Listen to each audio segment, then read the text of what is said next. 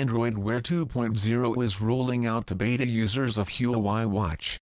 Huawei's first Android Wear smartwatch is still a great smartwatch today. Released in 2015, its looks still hold up today better than the Huawei Watch 2 inches our opinion so you can understand why so many folks are patiently waiting for the new Android Wear 2.0 update.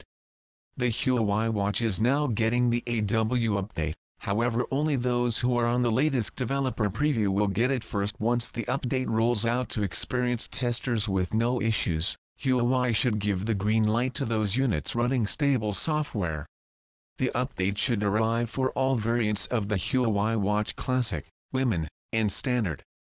The 2.0 update brings the new Android Wear Play Store, and more Wi-Fi capabilities than before. Standalone apps, new watch faces, improved messaging, and Google Assistant are just a few features of the new update. Google has been working for several months on AW 2.0 and the Huawei Watch was a developer's test device so we have high expectations for this update.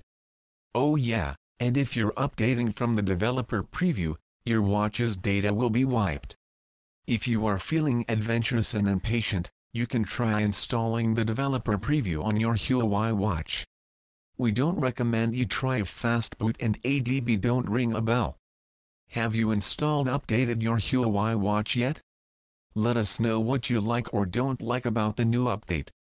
Thanks for sending this in, Rohit.